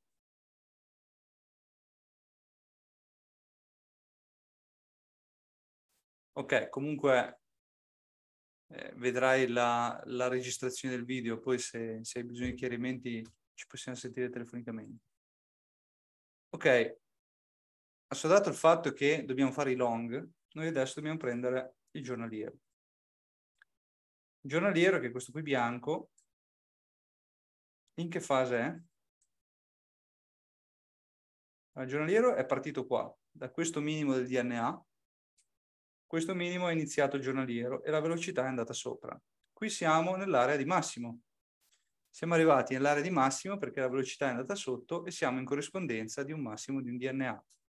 Quindi, noi adesso sappiamo di essere sul massimo del nostro giornaliero. Ora, dobbiamo fare lo short? Ovviamente no, perché abbiamo detto che la tendenza sta salendo.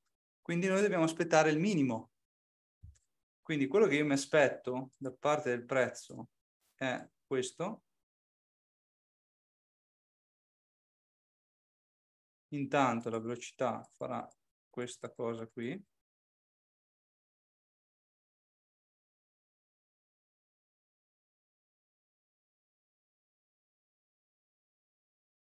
e io avrò questo minimo qui superiore al minimo iniziale se questo ciclo è rialzista.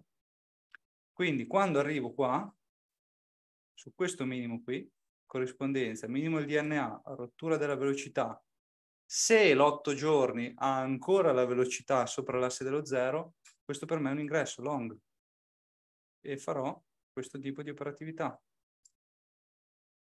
Quindi da qua al suo massimo, che avrà corrispondenza della rottura della velocità opposta e avrò anche un, un probabile massimo del DNA. Ok? Questo è il mio ingresso e questa è la mia uscita.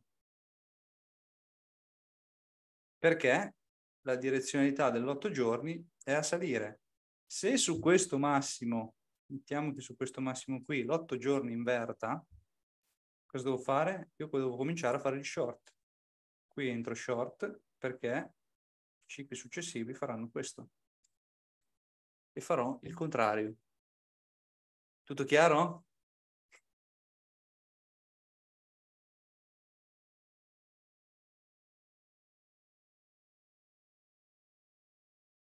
Bene, gli altri?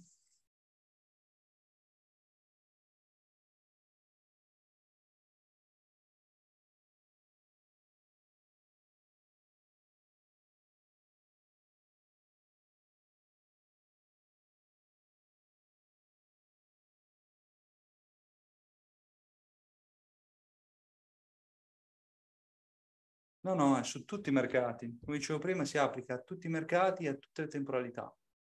Quindi qui stiamo guardando il giornaliero del DAX, potremmo guardare il mensile di Fiat, potremmo guardare il tre ore dell'oro, potremmo guardare il mensile di, di euro-dollaro, tutto.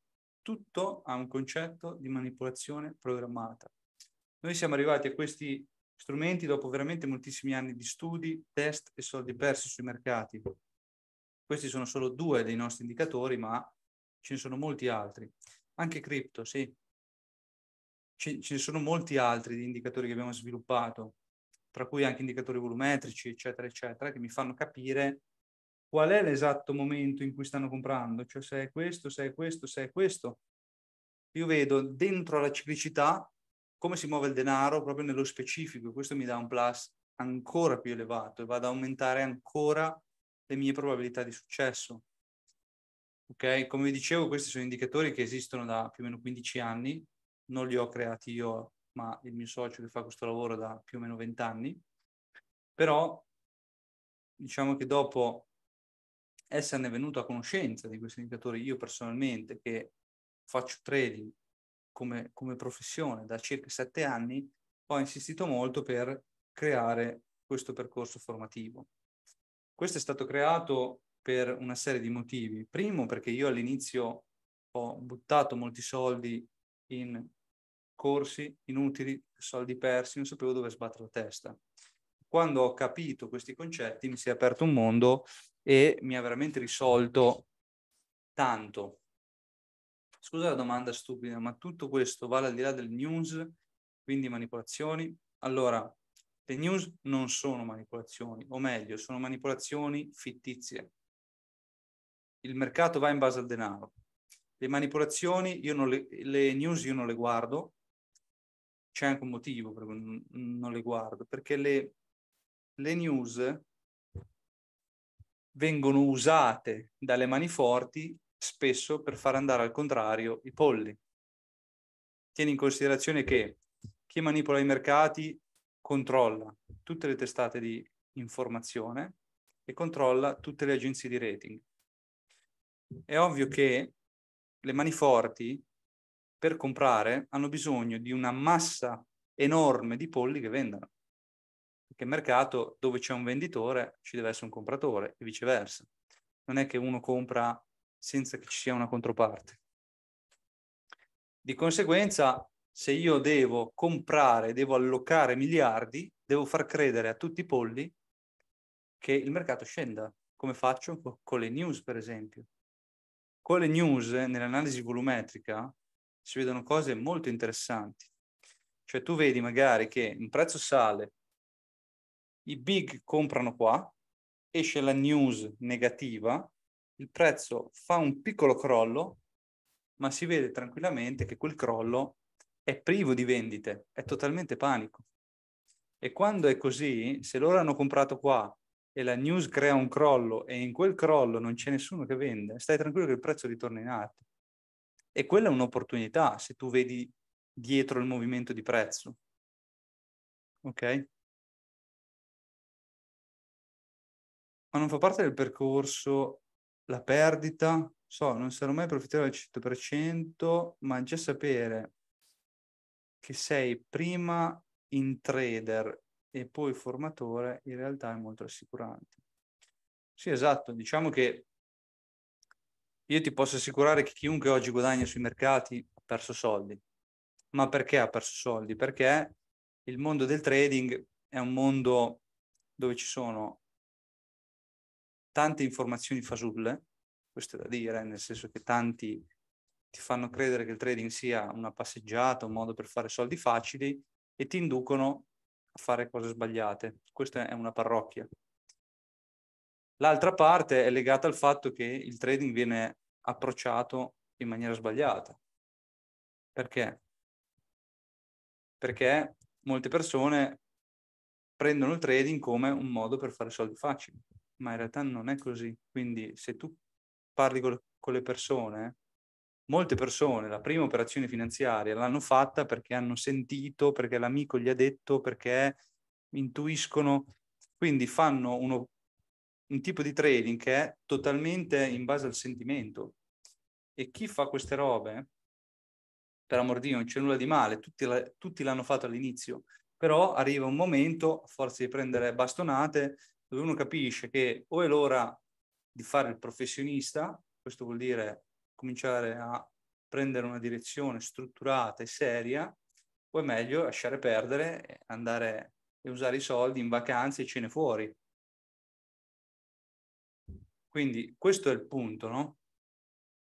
Quindi chi ad oggi entra in questo percorso formativo per la prima volta, cioè se questo è il tuo primo approccio, sei fortunatissimo, perché non hai buttato migliaia di euro in corsi inutili, non hai buttato migliaia di euro in perdite, cosa che io ho fatto personalmente. Ma perché? Perché non avevo tutto strutturato. E ti garantisco che è anche molto più complicato, perché quando tu ti impegni per un obiettivo, fatichi, leggi un libro a settimana per anni, eh, vedi che non, che non, stai ottenendo i, i, risultati, andare avanti è dura, te lo garantisco. Avere qualcosa di già creato, ti dà tutte le cose che devi fare senza dover scoprire nulla, ragazzo mio, è una manna, da, è una manna dal cielo, poi mi rendo conto che non ne percepisci tanto il valore, ma ti garantisco che è elevatissimo. E infatti stiamo parlando di un settore che ha più o meno tra l'80 e il 90% delle persone che bruciano soldi. Questi sono, sono dati ufficiali dell'ESMA, che è l'ente europeo che si occupa del monitoraggio di mercati finanziari e in tutta Europa tra l'80 e il 90% delle persone bruciano soldi. E i motivi sono quelli che abbiamo detto. A, non c'è una formazione valida, ufficiale, tutto ciò che si trova, la maggior parte di ciò che si trova online è o analisi tecnica, o analisi grafica, o analisi statistica. Tutte queste sono da buttare, perché nel lungo periodo non funzionano. Il mercato non si ripeterà mai come si è ripetuto in passato. Quindi togli tutto questo 90% di roba che non funziona. Ti rimane la, la parte non, non, sei il solo, eh? non sei il solo, ce ne sono tanti che perdono soldi.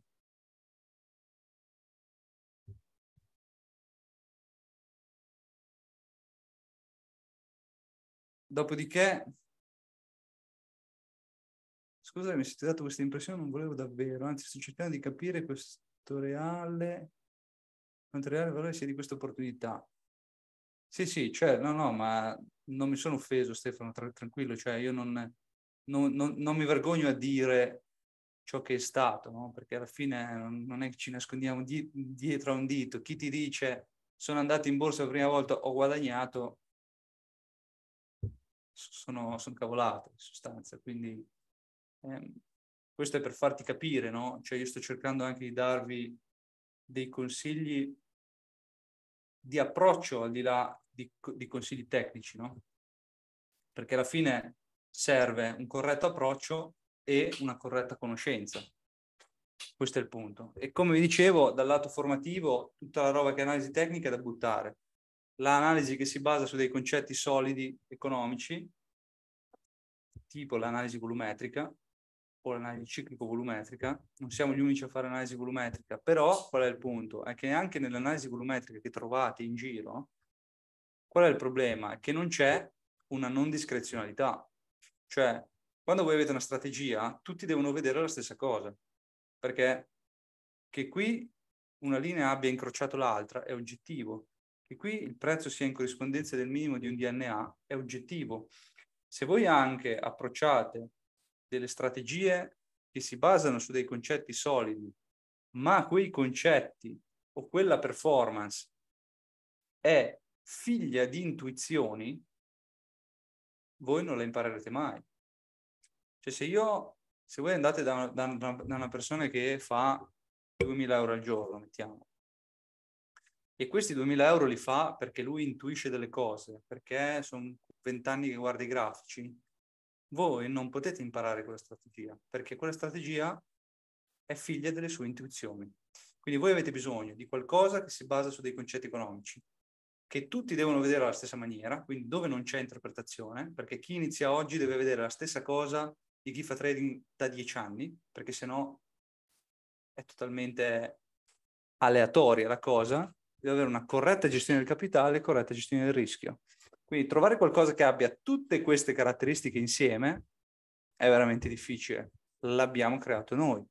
Io non ne ho trovati altri così, nonostante, ripeto, sia, siano dieci anni che studio, più di dieci anni che studio trading. Ok? Questo è il punto, no? Infatti, con la creazione di questo percorso formativo, esiste, esiste, è questa. Sono i nostri percorsi formativi. E ripeto, è l'unica strategia che puoi insegnare con ragionevole certezza. Cioè nel momento in cui tu hai una strategia di questo tipo, che A si basa su concetti economici, B non è discrezionale, C ha un ritorno sul rischio adeguato, D hai la corretta gestione del capitale, la tua unica preoccupazione deve essere quella di capirla e di applicarla. Se tu sei in grado di capirla e di applicarla con disciplina, il guadagno ce l'hai. Punto. Questo è, è un aspetto veramente che agevola notevolmente la formazione nostra, perché ti dà in mano una macchina, un conto darti una macchina, tu la usi perché ti viene spiegato esattamente come fare, ma tu la macchina ce l'hai, quindi devi solo preoccuparti di imparare a usarla. Non devi scoprire il motore a scoppio e costruirti la, la macchina per, per conto tuo, perché quello sarebbe veramente difficile, no? Quindi qua noi abbiamo realizzato questo percorso formativo che si chiama All Inclusive, che è formato da tutta una serie di video, sono più di 100 video, video corti, eh? massimo 15 minuti per un totale di 20 ore, che ti dà tutta quella conoscenza che ti serve per capire esattamente come applicare queste strategie a fine del, del tuo studio, quando vuoi, scarichi gli indicatori che applicherai alla tua piattaforma, quindi ti diamo gli indicatori in mano, e una volta alla settimana facciamo una live di supporto. Quindi hai studio, hai gli indicatori pratica e una volta a settimana mi puoi chiedere quello che vuoi all'interno di una live. Quindi in questo modo tu hai tutto ciò che ti serve per poter arrivare a essere indipendente. Questo è importante. C'è una domanda legata all'inflazione. Anche l'inflazione è un dato che genera un certo tipo di reazione da parte degli investitori, ma a quel punto nasce da capire gli investitori che poi agiscono sono quelli che contano o sono quelli che in quel momento si fanno prendere dall'euforia o dal panico? Perché tutte le notizie, anche quelle macroeconomiche, scatenano una reazione sul mercato ma non la scatenano automaticamente, la scatenano nell'emotività delle persone che fanno una certa azione. Ma se l'azione fatta è dei big, allora genererà un certo tipo di andamento strutturato. Se è dei polli e i big fanno il contrario, quell'andamento non durerà a lungo. Questo è il concetto. Ora ti faccio una domanda. Quanto vale una strategia che con 5.000 euro ipotetici potrebbe farti fare anche solo 1.000 euro al mese? Chiaramente 5.000 è un esempio, eh? non per forza ci vogliono 5.000.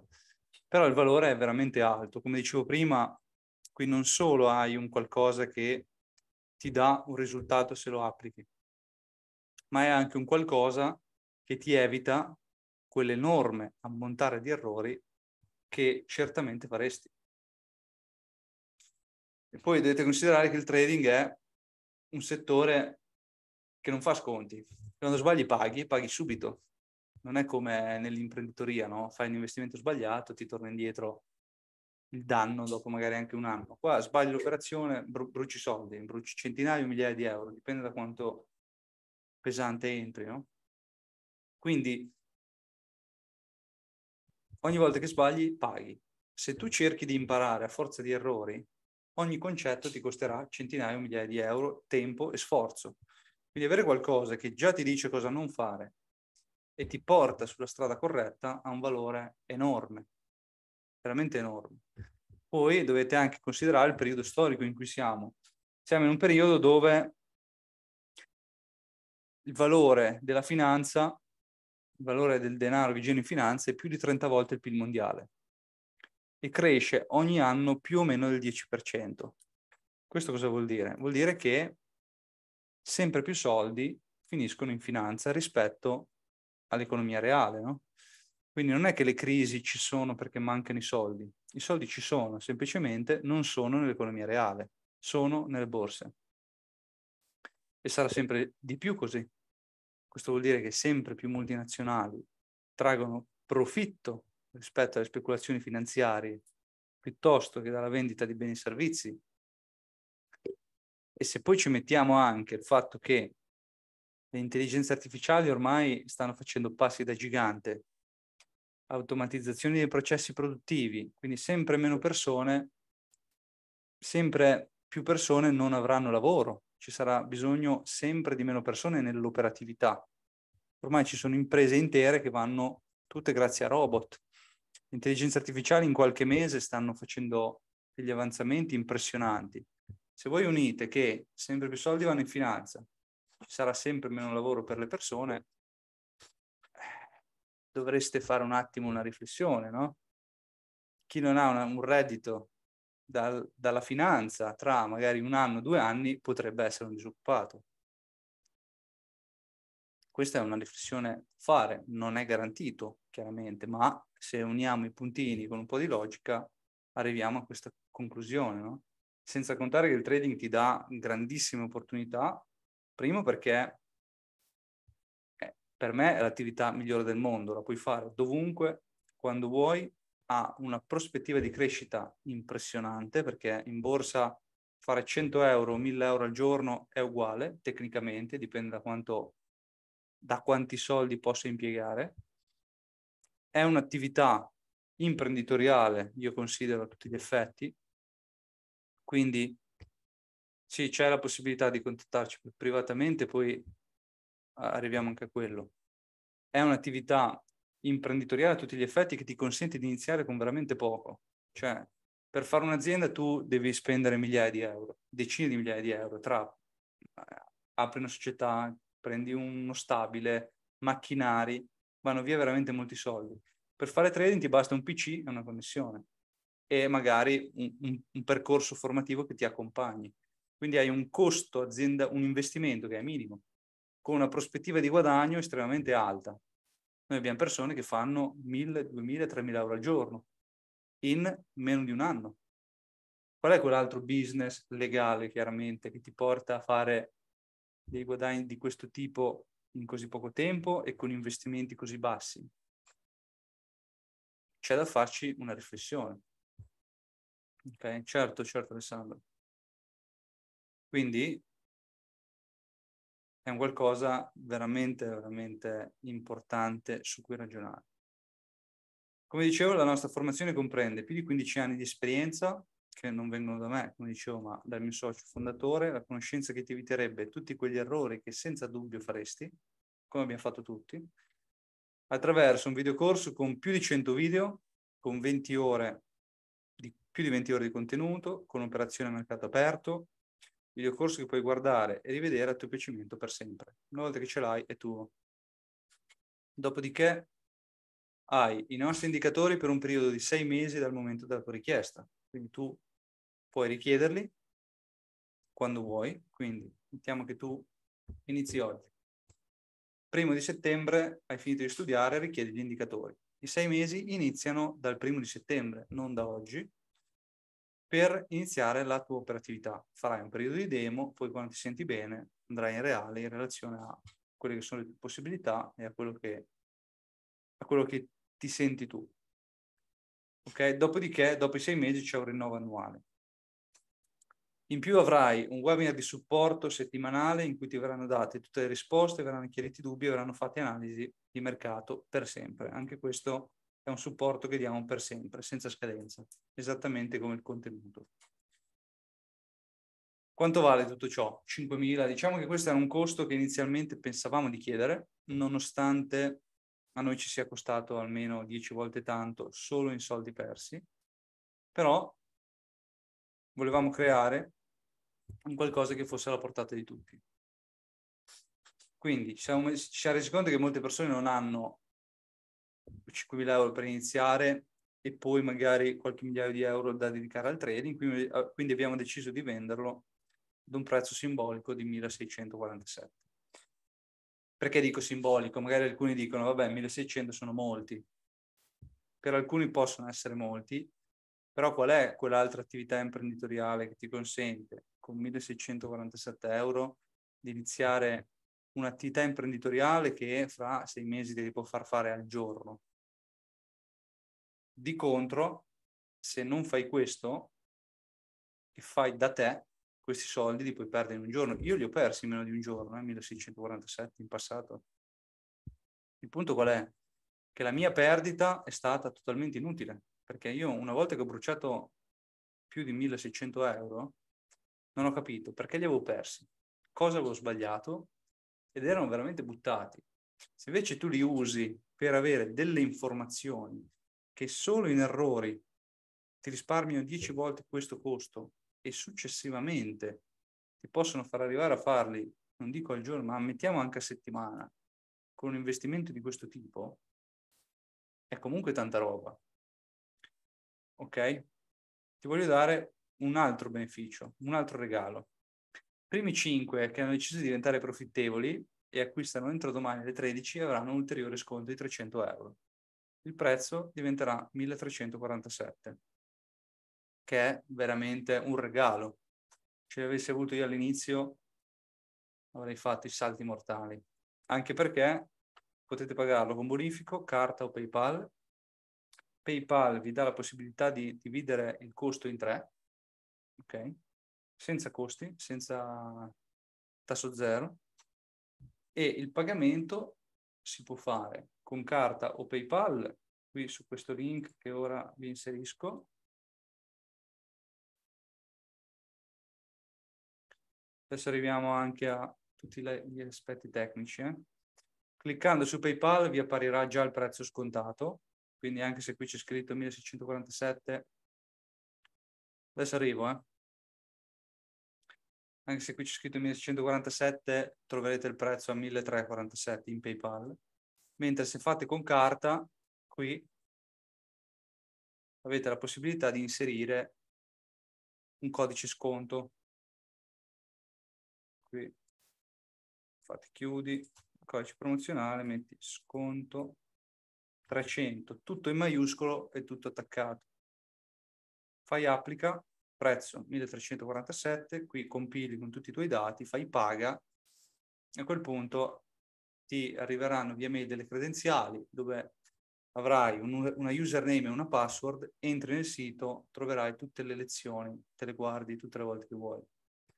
Per pagamento con bonifico mandatemi una mail che vi, vi, vi mando i dati del conto corrente, anche per qualsiasi tipo di informazione, domande, volete parlare con me direttamente, potete scrivermi a questa mail che vi sto mettendo in chat e questo è il mio numero se volete scrivermi su WhatsApp.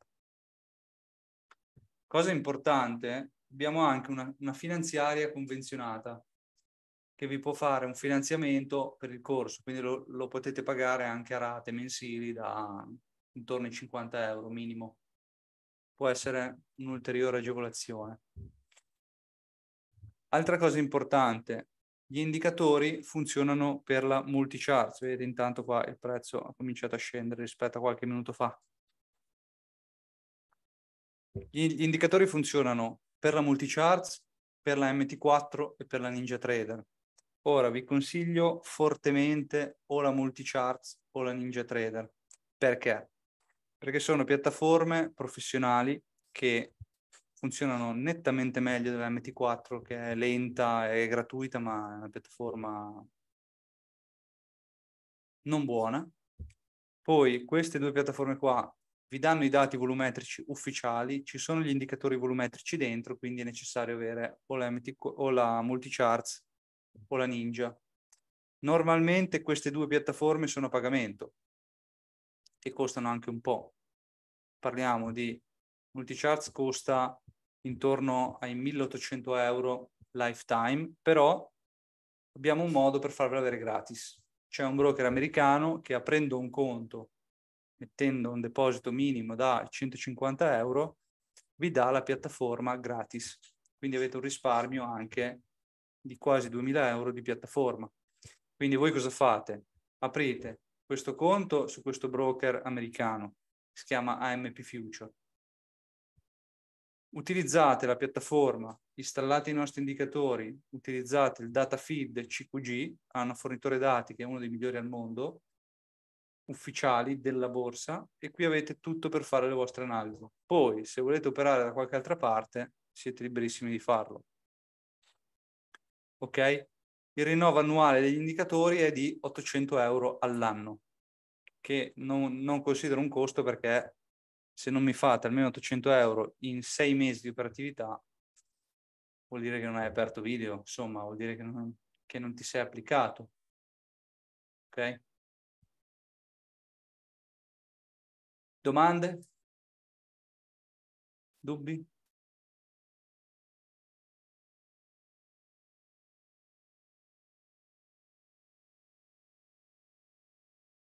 Tutto chiaro? No, per il sito non abbiamo un codice di affiliazione. Noi per scelta non, non vogliamo affiliarci con nessuno perché vogliamo rimanere super partes. Non voglio condizionare la scelta di nessuno. La nostra filosofia è quella di darti una strategia. Poi sei tu a valutare se è meglio un broker rispetto all'altro. Noi ti spieghiamo come valutare un broker e perché noi scegliamo un certo tipo di broker, ma per, eh, per scelta non vogliamo affiliarci con nessuno.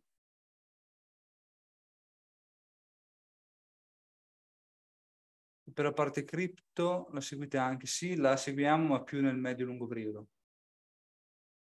Sì, si può rivedere, domani ti arriva una mail con la registrazione. Sì, si può rivedere. Certo. Segnatevi solo il mio numero e la mia mail, ve le rimetto qua, in modo tale che se avete domande, se volete chiedermi qualcosa, volete fare la finanziaria, volete informazioni sul bonifico, ve le mando direttamente io. Il link vi arriverà anche tramite WhatsApp da un numero aziendale, quindi se volete rispondere, potete rispondere anche a quello aziendale, ma non vi rispondo io. Poi, se volete parlare con me, i miei dati sono questi. Scriveteli su un foglio, fatevi una foto. ok?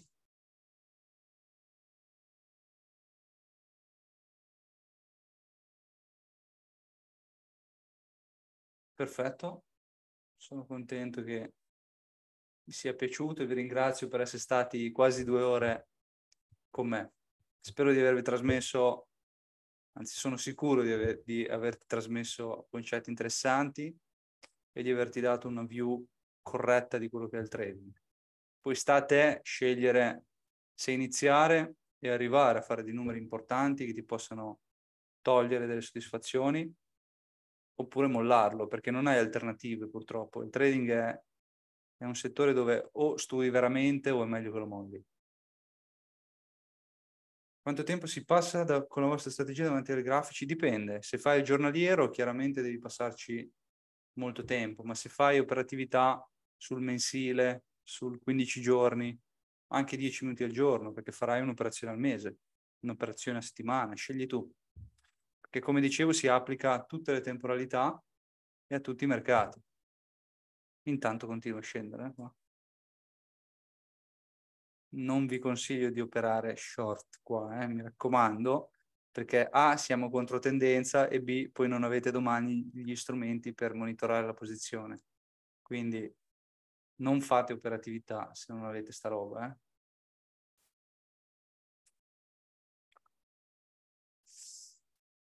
Ok? Dai. Vi ringrazio ancora una volta, vi auguro buonanotte a tutti e eh, rimango a disposizione via mail o via telefono con chi vorrà. Ti contatterò, perfetto. Mi fa piacere. E buonanotte a tutti. Ora chiudo. Chiaramente, anche se nei prossimi giorni vi vengono domande, dubbi, siamo qua. buonanotte, grazie a voi, buonanotte a tutti.